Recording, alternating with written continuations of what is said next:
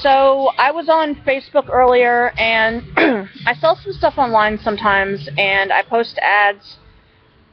They have local yards. I guess they call them yard sale sites here. I'm sure they have them all over the country. People post the stuff that they want to get rid of and sell or give away. Well, I went online and I went to go um, post a couple of things for my mother-in-law. And being that I don't have the items at my house, in the ad I clearly stated to call the number that's attached to it. Any questions, anything, just call it. People respond asking questions about it.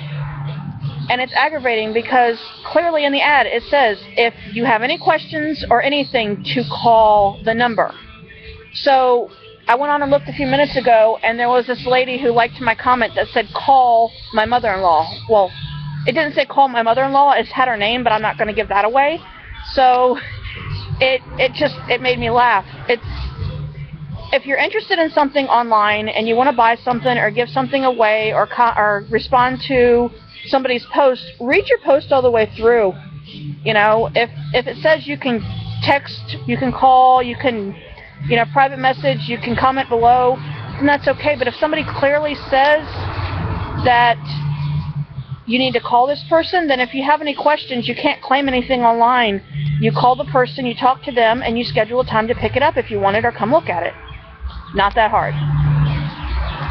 Alright, um, that's it for now. I'm sure I'll have more later. Bye.